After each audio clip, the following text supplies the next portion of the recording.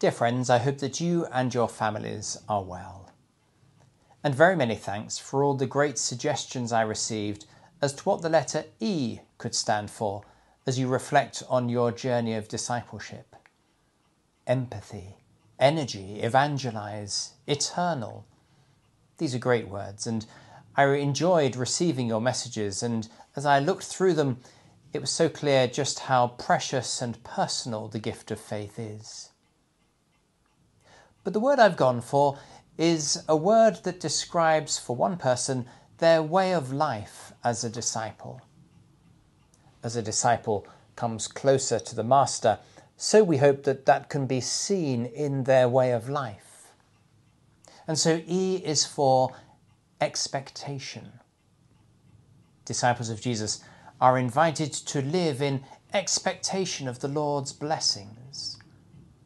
Take a moment to pray through Psalm 23.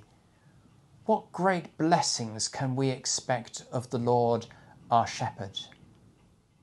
And a friend of mine says that a wonderful part of her day is expecting the Lord to show up.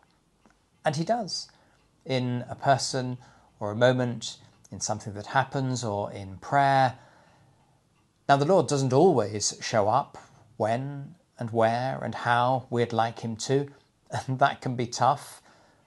But I suppose that reminds us that the Lord is the master and we are the disciple.